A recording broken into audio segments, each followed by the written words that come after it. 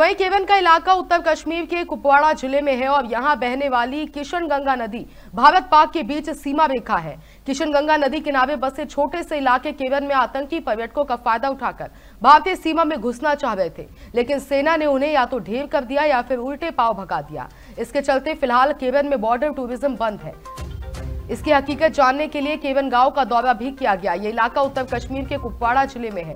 और यहाँ बहने वाली किशनगंगा नदी भारत पाक के बीच सीमा रेखा है। यहाँ इक्के दुक्के मोबाइल टावर है, इसलिए नेटवर्क की समस्या हमेशा बनी रहती है।